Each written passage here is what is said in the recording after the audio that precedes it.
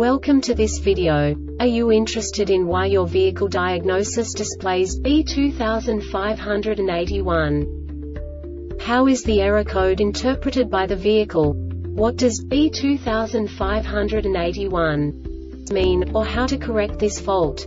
Today we will find answers to these questions together. Let's do this. First, let's look at the history of diagnostic fault code composition according to the OBD2 protocol, which is unified for all automakers since 2000.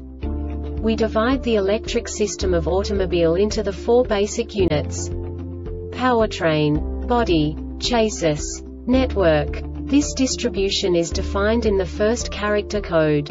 If the second character is expressed as zero, it is a standardized error. In the case of numbers 1, 2, 3 it is a more prestigious expression of the car-specific error. The third character specifies a subset of errors. The distribution shown is valid only for the standardized DTC code.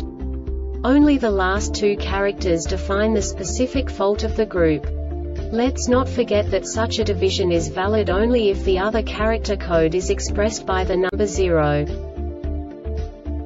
Our website airbagreset.sk produces useful videos for you. You do not have to go through the OBD2 protocol anymore to know how to troubleshoot any car breakdown. You will find all the diagnostic codes that can be diagnosed in a Kia vehicles. Also many other useful things. The following demonstration will help you look into the world of software for car control units. You unbelievably can move the video a bit further. The error code is split into two bytes consisting of 16 bits. One bit is the basic unit that each computer works with. The bit has two logical states. 0, low level, 1, high level. By combining the first two bits, the basic character of the error code is expressed. The next two bits again determine the second character. The last beat styles of the first byte define the third character of the code. The second byte is composed of a combination of 8 bits. The first 4 bits determine the fourth character of the code. And the combination of the last 4 bits defines the fifth character. A single byte conceals 256 possible combinations. We now know in what way the diagnostic tool translates the received information into a more comprehensible format.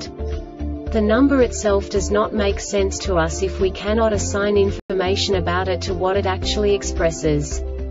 So, what does the diagnostic trouble code B2581 interpret specifically Kia car manufacturers? The basic definition is Cylinder 1 injector circuit low input or short to B+.